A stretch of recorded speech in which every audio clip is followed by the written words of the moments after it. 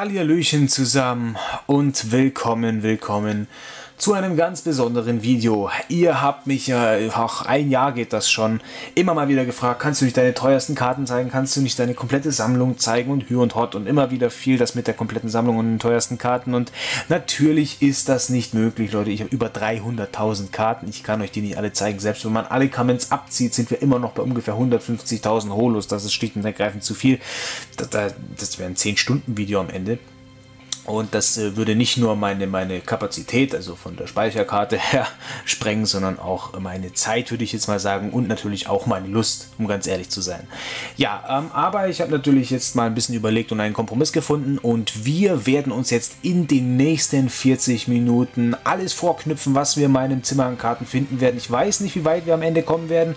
Ähm, das steht noch in den Sternen, aber äh, einiges werden wir auf jeden Fall schaffen. Ein bisschen was, vielleicht ein Viertel von allem. Und ich werde da auch relativ schnell drüber fliegen, damit wir ähm, da auch ein bisschen mehr schaffen als sonst. Natürlich wird das krasseste zuerst kommen aus den vorsortierten Ordnern und den Koffern und so weiter. Und später wird es dann eine Mischung aus Random-Karten und richtig geilem Zeug. Allerdings wird es nie komplett langweilig. Ähm, darüber hinaus äh, eine Ankündigung noch. Und zwar ähm, ist es jetzt bald soweit. Ich habe ja immer mal wieder davon gesprochen, dass ich etwas mache, weshalb ich keine Zeit habe, die, die Sammelkartenchecks zu machen. Und ähm, es wird ziemlich bald online gehen und zwar eine Website, wo meine Karten, zumindest ein Teil der Karten online ausgestellt werden. Natürlich nicht alle, natürlich nicht alle Stückzahlen. Da gibt es dann auch Informationen zu den jeweiligen Sets, aus denen die Karten kommen, etc. PPA. Mehr Infos dazu findet ihr natürlich auf meiner House of Cards Infoseite. Die ist unten verlinkt und ich würde sagen, wir legen jetzt locker flockig los.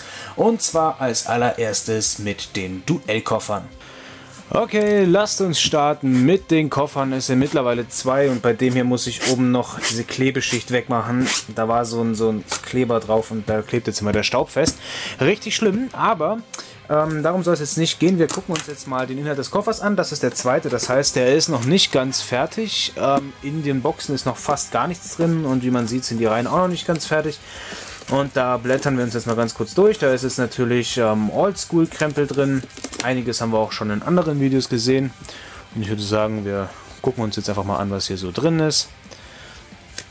Ja, ich snack hier einfach mal immer so ein bisschen durch, dass man da, äh, dass wir da nicht allzu viel Zeit immer brauchen. Genau. Ähm, ist natürlich hier noch ein bisschen durcheinander. Ich habe hier jetzt äh, den noch nicht wirklich sortiert. Und auch wenn man sich immer mal wieder durchsieht, ähm, dann, ähm, ja, dann, dann, wie soll man das sagen, wenn man sich immer wieder durchsieht, dann kommt es halt auch mal durcheinander. So, ich hatte gerade einen Worthänger, sorry. Genau, also ihr seht hier immer wieder mal ein paar äh, Monster Reborns aus LOB hier zum Beispiel. Auch richtig cool.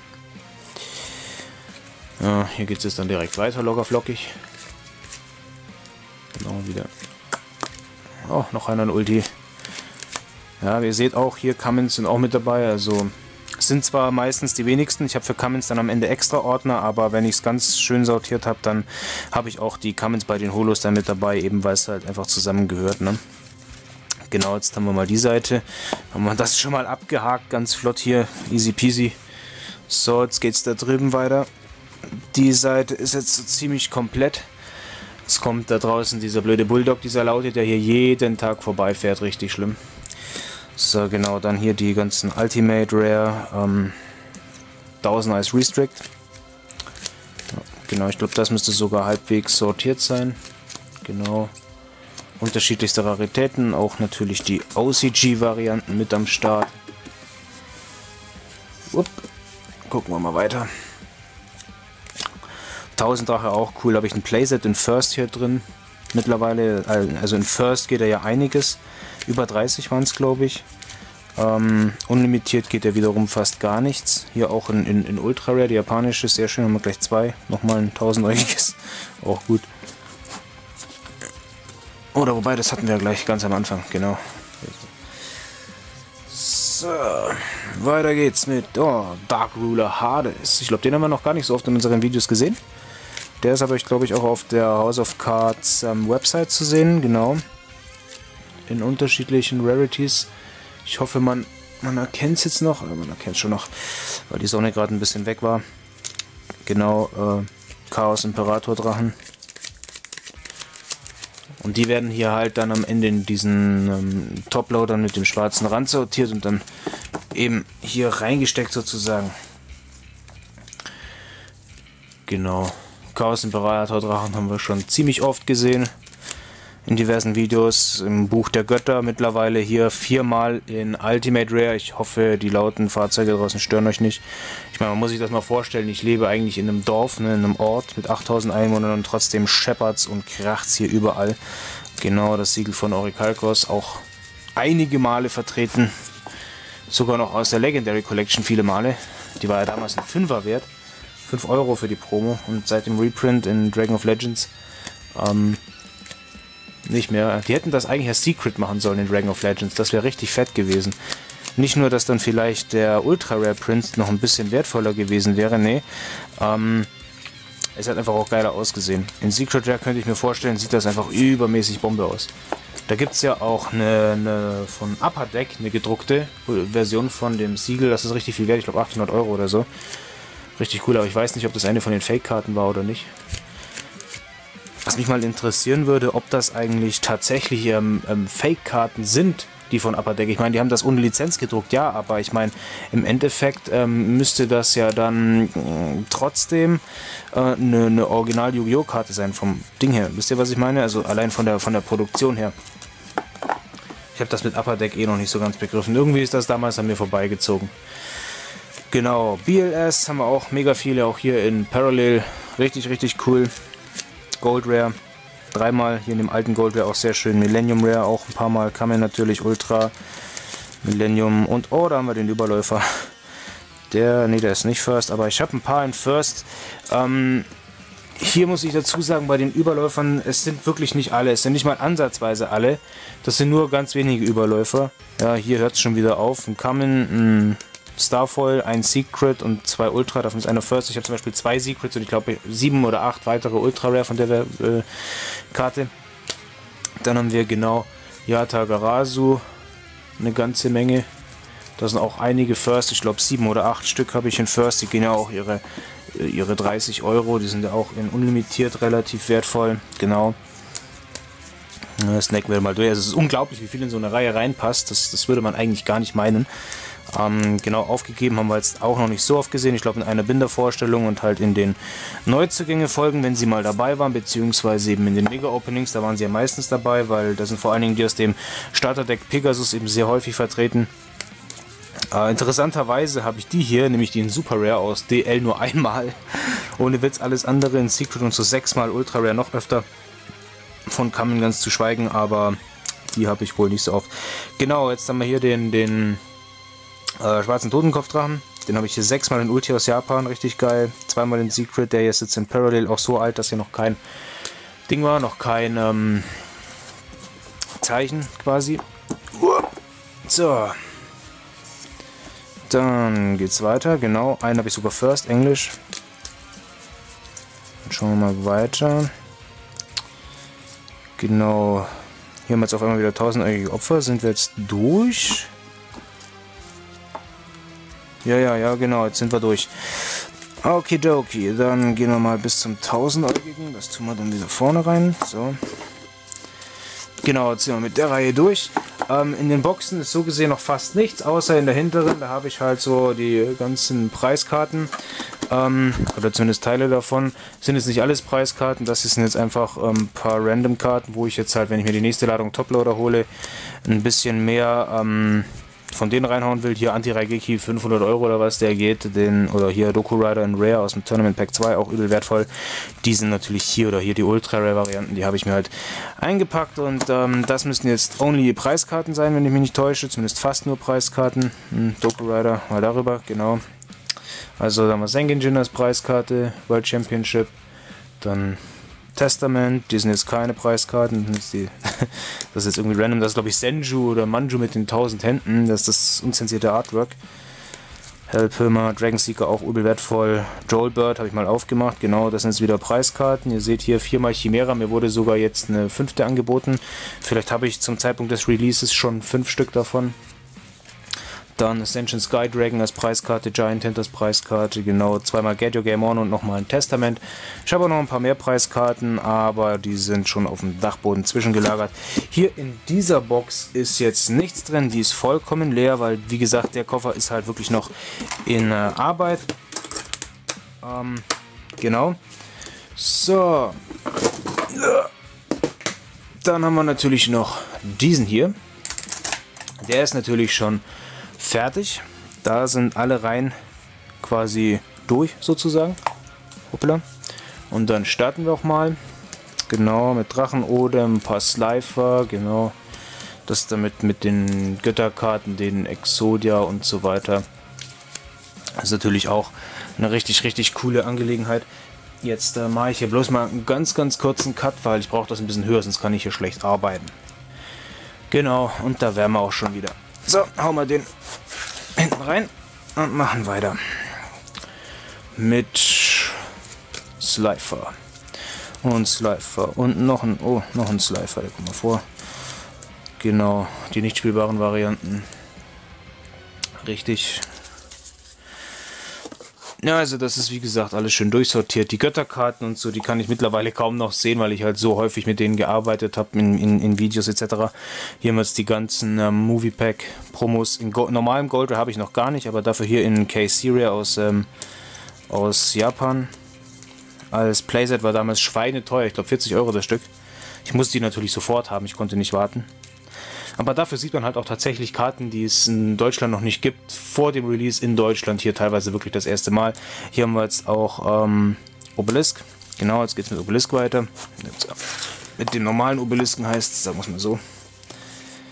Genau, Gold Millennium Rare, auch richtig cool die Karte.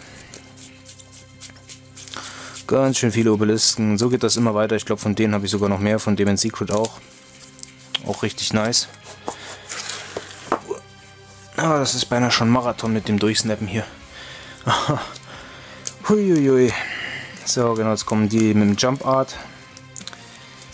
Genau, die beiden sind hier auch aus der Jump. Ich habe ja die kompletten Sets. Hier ist schon wieder so einer in dem Artwork. Also ihr seht, es ist halt alles nicht mehr hundertprozentig geordnet. Einfach aufgrund der Tatsache, dass ich mir meine Karten halt gerne durchschaue und das ähm, mit dem immer wieder an dieselbe Stelle zurücktun, das äh, vernachlässige ich manchmal ein wenig. Genau. Da haben wir jetzt Ra. Der offiziell uncoolste von allen dreien, obwohl er eigentlich am ägyptischsten wirkt. Ich kenne eigentlich kaum jemanden, der Ra favorisiert. Dabei sieht Ra eigentlich voll cool aus. Ich favorisiere ihn natürlich auch nicht, aber trotzdem. Hier The True Name. Hier in Japan ist das eine Ultra mit Millennium Rare drüber. Richtig cool. Jetzt geht's los mit Exodia aus Yugi Legendary Decks einmal. Dann aus DL2 in, in Parallel. Auch richtig nice. Uop. So, weiter geht's. Ähm, LOB First. Genau, Colored in Ultimate Rare, der Kopf. Müsste ich auch zwei haben. Hm. Genau, hier ist der zweite. Die, und die japanische in Secret auch übel viel wert, die komplette Exoda. Ich habe dann auch noch die Teile, die kommen dann auch noch. Werden wohl etwas weniger spannend, da werden wir dann nochmal ein bisschen schneller durchskippen. Ähm, hier ist die zweite LOB Exodia in First. Hier ist die zweite in Secret. Hier ist die aus DDS, auch schweineteuer in Prismatic. Äh, genau, und hier kommen halt die ganzen Teile. Ja. Snacken wir die halt durch, damit wir dann wieder am Anfang sind sozusagen. Ja, es sind halt ziemlich viele Teile. Ne? Auf jede einzelne Exodia kommen ja vier weitere Teile. Dementsprechend macht das ungefähr 30% von der ganzen Reihe aus. Nur die Teile genau und jetzt sind wir hier eben wieder am Anfang. Die lassen wir jetzt mal vorne, so. Damit wir nicht noch mehr Unordnung reinbringen und die kommen hinten hin. Jetzt machen wir die zweite Reihe. Hier wird es, glaube ich, relativ Blue Eyes lastig, wenn ich mich nicht täusche. Genau. Kybermann Secret kennen wir jetzt aus den letzten Neuzugängen so ein bisschen. Genau, hier dann auch die ganzen teuren, schönen ähm, Drachenmeister-Ritter in Secret. Ja, oder ein Ultra auch. Ja, ist auf jeden Fall eine coole Sache. Die legen wir mal hier. Nee, ist halt immer ein bisschen. So. Genau. Oh ja, Blue Eyes aus der Jump. Ich erinnere mich noch, der Michael hat mir damals ewig viele von denen gekauft. Ich glaube 20 Stück oder so. Hier der dunkle pa äh, der, der Paladin of White Dragon. Tun wir jetzt einfach mal dahinter. Genau, dann haben wir hier den besten Blue Eyes ever vom Artwork her. Von Katsuki Takahashi gezeichnet. Ich habe auch das Video gesehen, wo er ihn designt hat. Richtig nice. Nochmal ein Kaibermann. Oh, ich muss das wieder ordnen. Ohne Witz, Leute. Ich muss das echt wieder ordnen. Einmal im Monat. Ich setze mir jetzt einmal im Monat so einen Tag fest. Da ordne ich den Mist. Dann hat das wieder ein bisschen Struktur. So. Genau. Haben wir jetzt wieder ein paar Kaibermänner. Leider habe ich erst einen Secret. Geht ja 75 Euro hier. Man leuchten Blue Eyes aus dem Retro Pack. Ich habe zwei Stück in Secret der andere ist Englisch. Ah, den habe ich gerade nicht gefunden. Vielleicht finden wir ihn ja sogar noch in dem Video, wer weiß. Haben wir noch einiges zum Durchgucken. Weil wir, glaube ich, auch schon irgendwo bei 10 Minuten sein müssen. Bin mir zwar bin mir halt nicht sicher, weil ich jetzt erst die zweite Aufnahme im Laufen habe. Und, ähm, und, ähm, na, wo war ich? Ich habe jetzt die zweite Aufnahme am Laufen, weil ich ja einen Cut gemacht habe und ich weiß nicht, wie lange die erste ging, genau. Richtig cool. Ja, jedenfalls hier auch ein Ultimate geht auch einiges. Habe ich jetzt vier Stück von.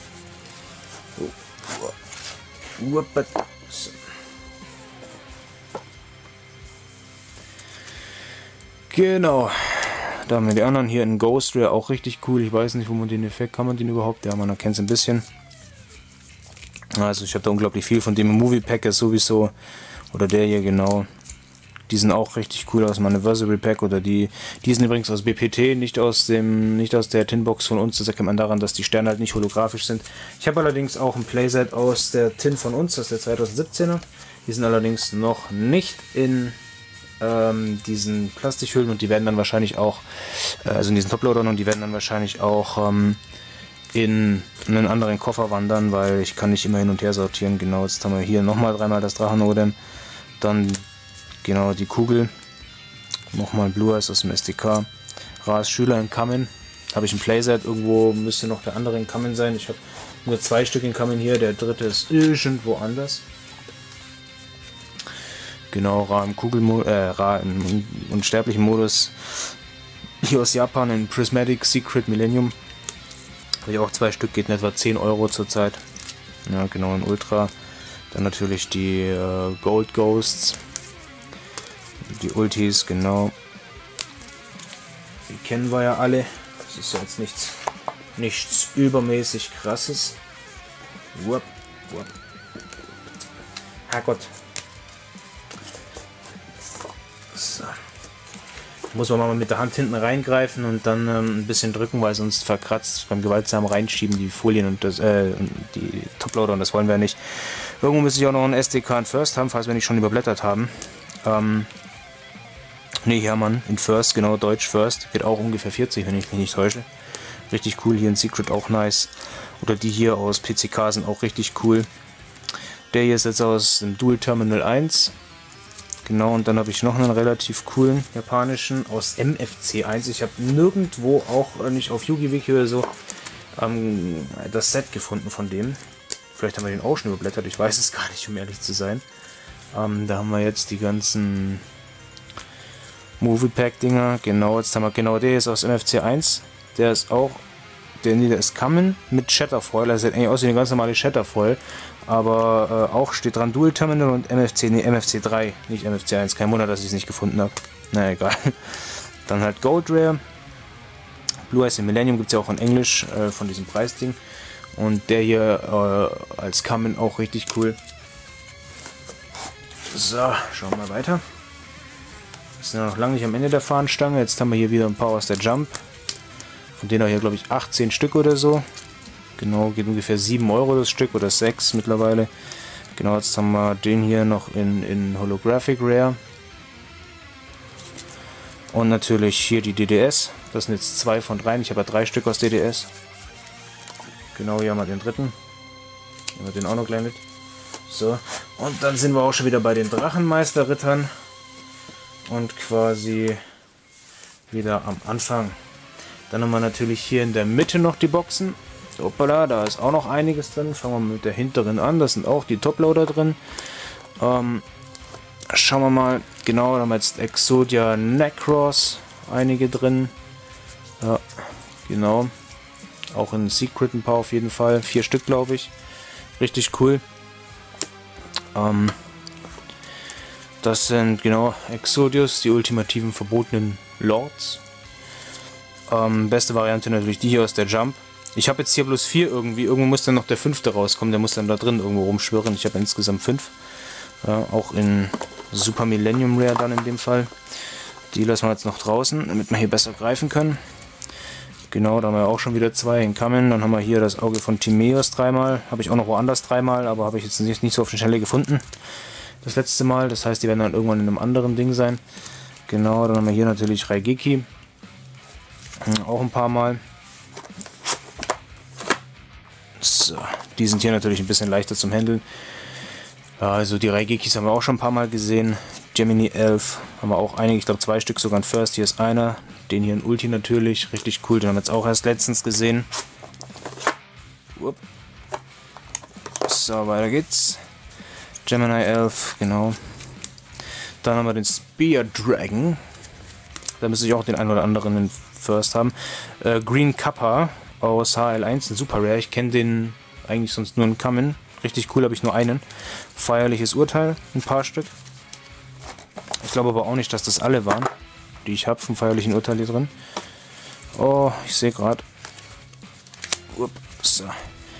Genau, dann herbeigerufener Thunschädel und äh, hier nochmal die Billigversionen vom, von den Klauen und so. Hier nochmal ein paar Überläufer, ein paar Raigeki, genau nochmal ein paar Klauen und so weiter. Also das ist ähm, hier eigentlich alles immer das, dasselbe. Ich habe halt relativ äh, viele Exemplare davon dann.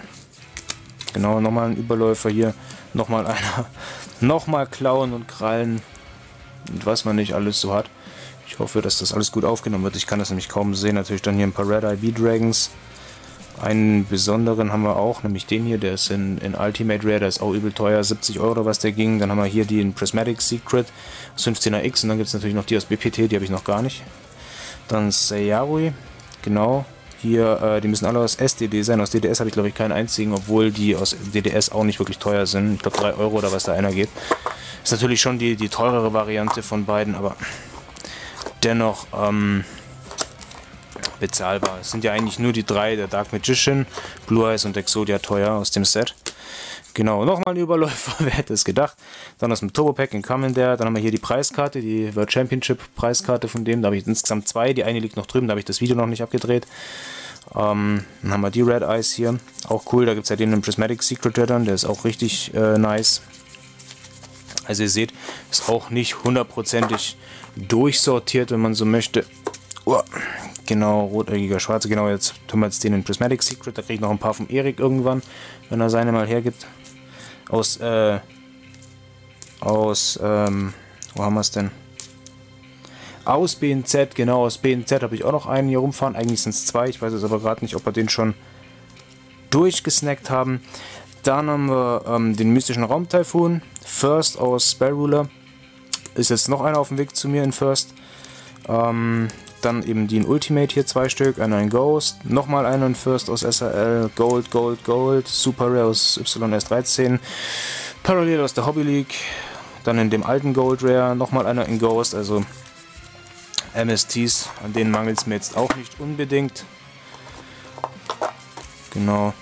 Ähm, dann der mystische Raum Typhoon, noch dreimal in Ghost.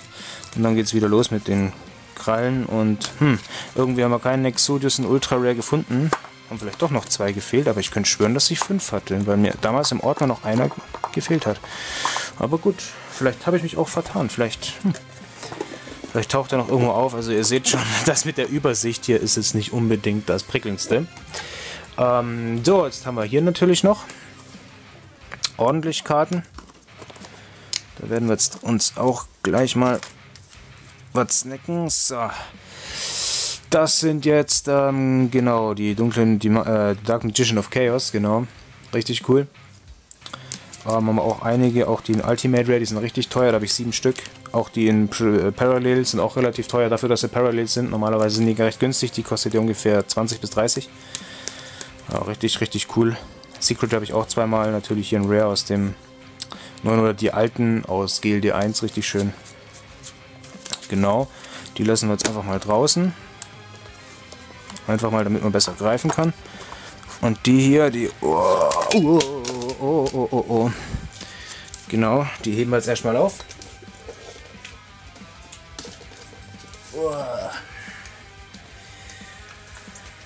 Die heben wir jetzt erstmal auf. Und dann kann es hoffentlich direkt weitergehen.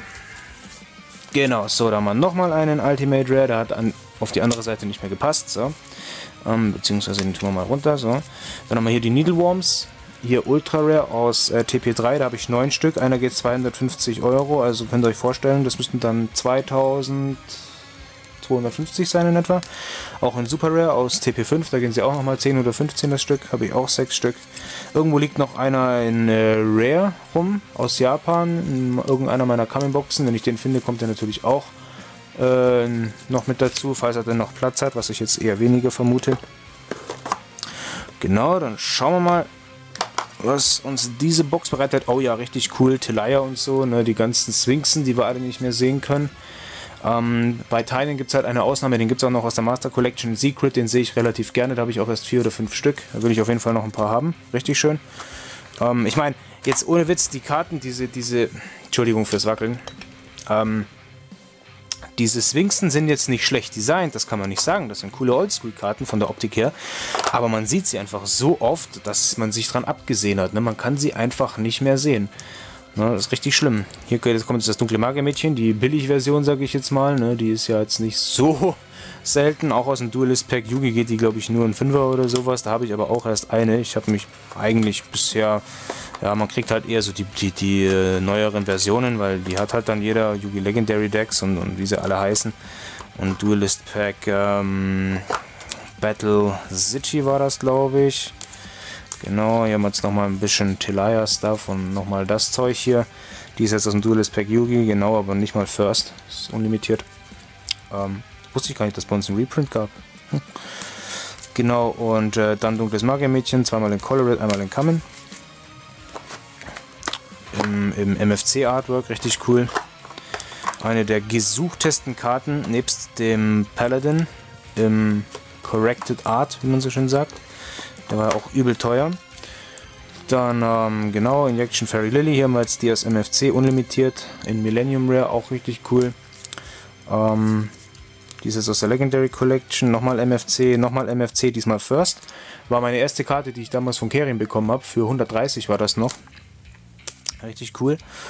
Ähm, mittlerweile geht die auch über 200.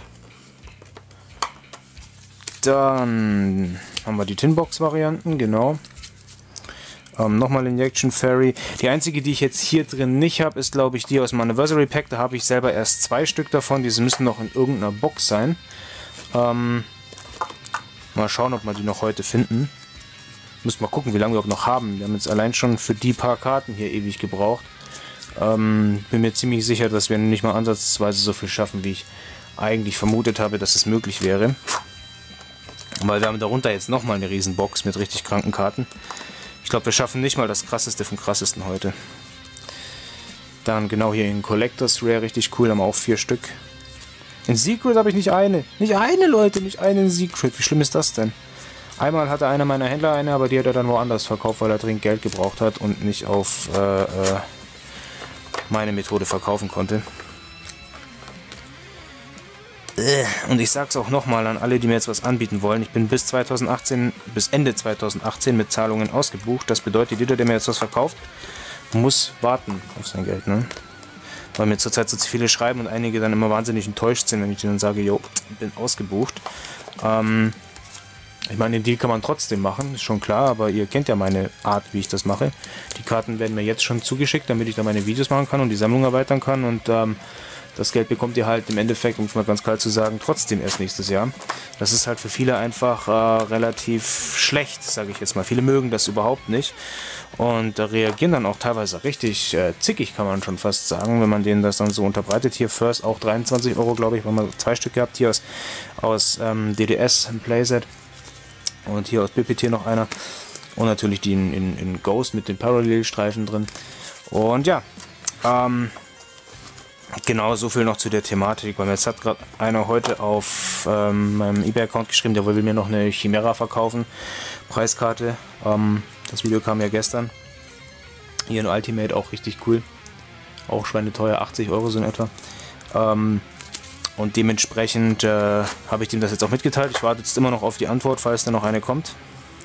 Viele antworten noch gar nicht mehr. Genau. Hier auch richtig nice. Aus BPT. Die ist aber allerdings günstig. Relativ günstig. Und hier nochmal den Ghost Rare. Sechs Stück habe ich jetzt aus BPT von dem einen Magier hier. Mein Gott, was stoße ich denn ständig an dieses dämliche Stativ? Das gibt's doch gar nicht. So, jetzt tun wir mal den Scheiß hier nochmal raus. Oh, gut, zack. Ja, bleibt's da. Und lassen wir den auch noch draußen, dann können wir da wesentlich besser. Genau. Also man sieht, es ist halt schon ziemlich viel. Ich glaube, von denen hatte ich auch eine Doppelseite voll damals im Beiner. Hier ist der Legendary Collection, ist halt richtig cool, aber hier äh, in Prismatic natürlich noch eine Runde cooler. Noch ein bisschen mehr Oldschool, wenn man so möchte. Richtig cool. War ja auch ein Spiel dabei, soweit ich weiß. Und ja, hier geht es dann wieder los mit Tilaya. Und schon wieder ein Bulldog. Yay. So, der kommt jetzt darüber. Dann hätten wir den Koffer nämlich auch noch geschafft. Genau, so. Boah. Na, irgendwas stimmt doch da nicht. So, supidupi. Packen wir den auch wieder zusammen. Und dann nehmen wir uns als allernächstes die Box darunter vor. So, es gab jetzt doch eine kleine Planänderung. Ich wollte euch jetzt zuerst die Box zeigen, die unten drunter war, aber da ist schlicht und ergreifend zu viel Stuff drinnen und wir wollen die 40 Minuten jetzt nicht übermäßig überstrapazieren. Also 42 bis 45 Minuten wären jetzt auch noch okay, aber das würden wir mit der Box definitiv sprengen. Deswegen habe ich mir jetzt hier einfach random eine ähm, Schachtel rausgeholt. Und wer sich fragt, wo man die herbekommt, die ist aus ähm, dem japanischen Deck MB01, wo auch die Gold äh, Millenniums drin sind und ähm, die Seiten hier wurden ja auch übernommen bei den Legendary Decks 2. Und deswegen gibt es die hier in Deutschland zumindest nicht, soweit ich weiß. Gut, so viel dazu. Wir schauen uns an, was in der Box drin ist. Es ist eine etwas kleinere Box, habe ich extra genommen, damit wir eben zeitlich nicht zu sehr strapazieren. Und ich würde sagen, wir gucken uns jetzt einfach mal an, was sich in den Boxen befindet. Da haben wir natürlich einiges an Random Stuff auch mit dabei. Also da ist nicht nur kranker Scheiß drin, wie man so schön sagt. Kiri, was Kikeriki, Kikeriki, ja, was man sich bei der Karte gedacht hat, weiß ich auch nicht. Geisteroger und Schneehase, cool. Tsukuyomi und Alti, ja, also das ist halt ziemlich gemischt, so random Sachen mit ein bisschen cooleren Sachen drin, also ähm, immer so ein bisschen, wie gesagt, unsortiert. Die werden ja bei mir einfach so in die Boxen reingesteckt. Und sortiert werden sie halt tatsächlich erst, wenn äh, es dann mal so weit ist, dass sich ähm, die äh, Karten in die ähm, entsprechenden Toploader packe. Ja, mal einen Trishooter, der ist mega cool. Oder hier Sniffos ist ja nichts wert, aber das sind so Secrets, die kannte ich eigentlich noch gar nicht. Dann Aschenblüte, genau. Aktuell auch sehr gesucht, soweit ich weiß noch. Der Gusto Emerald, mittlerweile verboten. Genau, ja, da muss man immer mal ein bisschen drehen noch. Der war gespendet vom lieben Daniel Schiffer, soweit ich weiß. Beziehungsweise so einer war gespendet. Ich glaube, der an sich war jetzt nicht vom Daniel Schiffer. Den Folien nach zu urteilen eher vom ähm, Michael. Genau, jetzt schauen wir mal weiter. So, dann haben wir jetzt den beschworenen Korkytos aus Fusion Forces. Roter Gigaleucht, Metalldrache aus LDK 2, Nummer 10 und 1. Das ist übrigens auch ein sehr schönes Artwork. Shiranui Spektralschwert, der schwarze Stein der Legende. Das ist der Jump. Nummer, Nummer 1, lautlose Ehre Arc. Von der ich immer noch verzweifelt nach einer Ultimate suche. Die Boys, Zeitmaschine, auch richtig cool in Secret. Riesenstrahlsoldat, magische Schmelze aus Fusion Enforcers. Die ging zumindest am Anfang auch um die 5 Euro. Dimensionsbarriere, genau, richtig cool. Ähm, Duellantenallianz aus Maximum Crisis. Nochmal ein riesen Stahlsoldat, nochmal magische Schmelze. Beschworener Kaliga. Gibt es in Japan auch als Super Rare. Maschinenlord Ür. Genex-Armee, majestätisches Mädchen, El-Schattenpuppe äh, Gerista. Finde ich mega cool vom Design her, die Karte. Fällt mir sehr gut. Mariamne, wahrer König. Genau, das sind so ein paar von denen. Dann haben wir hier ein Ultimate aus Japan. Die gibt es bei uns. Die ist bei uns ein Super und die ist bei uns ein Ultra. Hunger, Gift, Fusionsdrache aus dem Originalbooster. Eindringling der Finsternis aus Invasion of Chaos.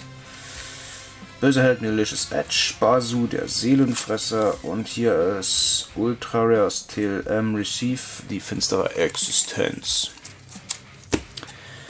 Gut, schauen wir mal weiter. Dann haben wir ein vulkanisches verdammtes Feuer. Christron Quandax. Gaia Drachling, die Universalkraft. Aus Starstrike Blast Landformen, aus Mastral Pack zweimal. Dann Stuffed Animal in Kamen.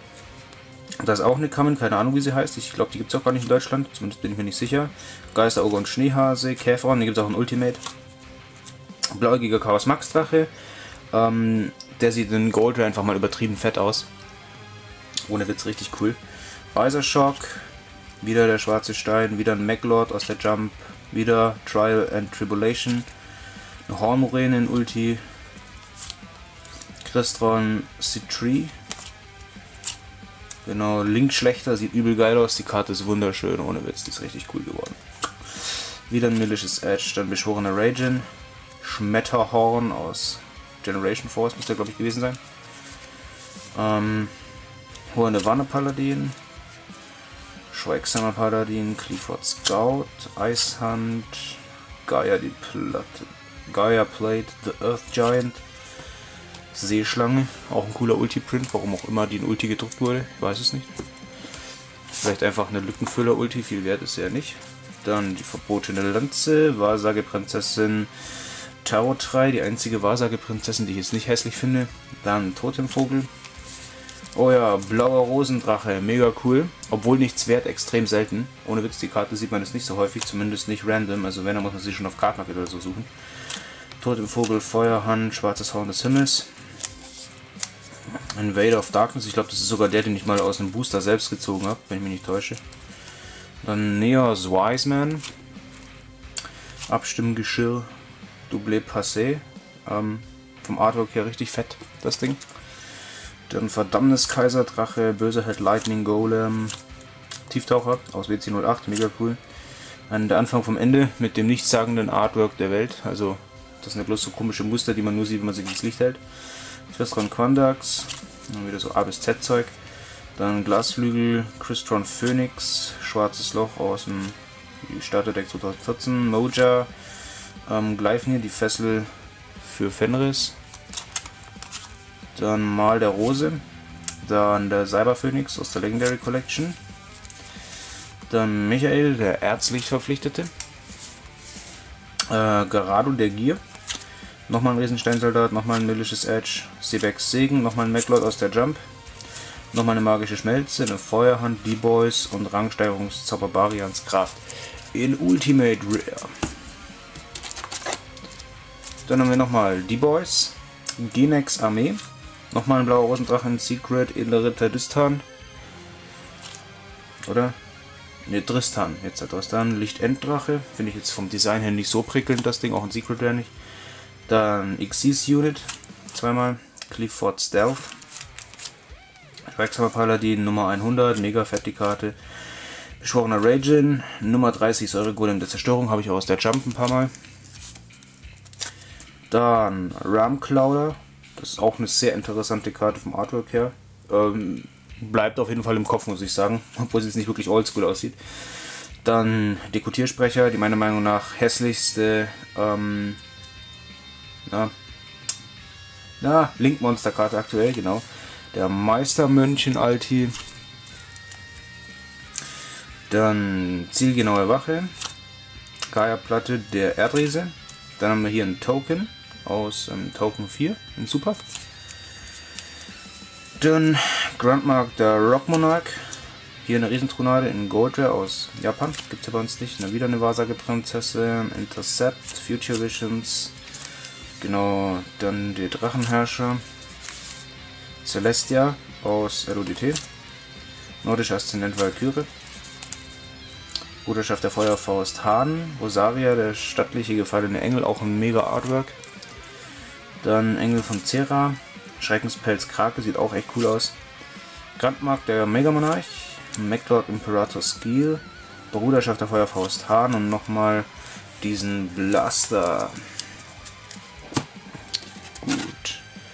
Vorletzter Stapel würde ich sagen. Brecher der magische Krieger aus der Legendary Collection, Giant Hand in Gold Rare. Dann Violette Hexe, Ritter von Gawain, Gestaltenwanderin, ähm, Aufziehträger Zenmeilen, Grabwächter Orakel. Die habe ich auch in Ultimate aus Japan. Tyrann, Rotdrachen, Erzinterweltler, genau. ZW Löwenwaffen, habe ich auch in Alti. Exis-Einheit ist Alti. Zukunftsvision Alti. Zukunftsfusion jetzt, ja. Nummer 1005. Ach, immer dieses Umgedrehe. Hm, Christron Phoenix, der schwarze Stein der Legende. Michael, der ärztlich verpflichtete, nochmal ein blauer Rosendrachen, Secret. Oh, haben wir es jetzt dann bald. Dann schwarzes Horn des Himmels, Machine Duplication, Xyz Reflexion. Dann Latinum, TG Wundermagierin, Fujin, genau. Die sieht auch übel cool aus, die Pendulum äh, Vanilla. Richtig schön die Karte. Stand äh, Straubacher Angriffsmodus, nochmal Maschinenduplizierung. Warum hängt da ein Haar drin? Gibt's ja gar nicht. Egal, mal später zweimal. Dann Mehrteil Golem, das ist wirklich eine 1-Euro-Karte auf Ebay sogar nur. Ich glaube, auf Market geht die dann bloß ein paar Cent. Christron, Ogerdrache der Lehrer, der war auch mittlerweile sehr beliebt.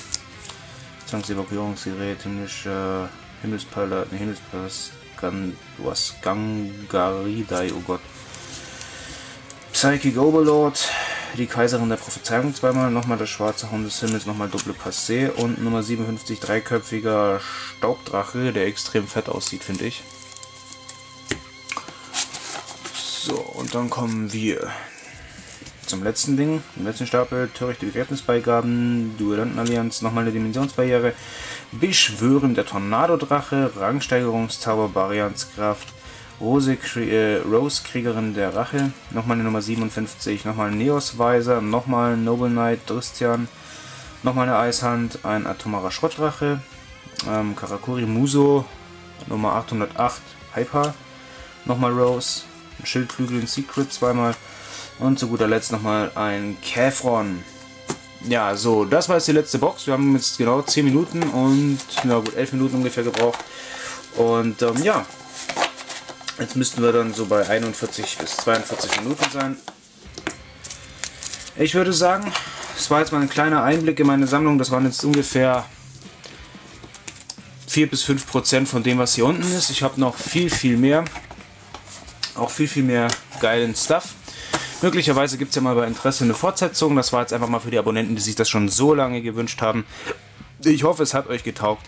Und ich würde sagen, wir sehen uns dann wieder zu einem regulären Video. Und bis dahin macht's gut und haltet die Ohren steif.